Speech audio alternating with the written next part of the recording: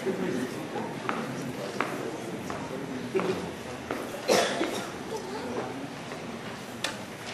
nightfall setting on the village, the ceilidh had begun.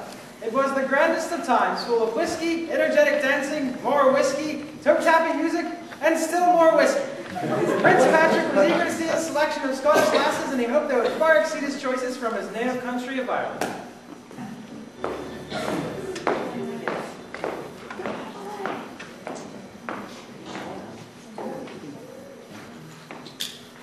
Uh...